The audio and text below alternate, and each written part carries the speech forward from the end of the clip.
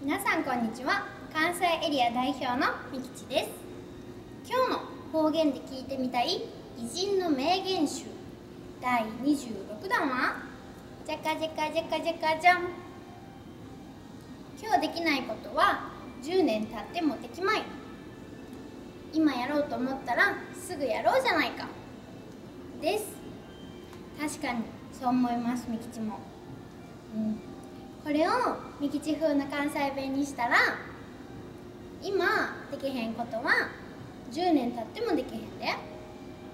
だから今やろうと思った時にやろうな。です。そうしよう。じゃあまた明日。バイバイ。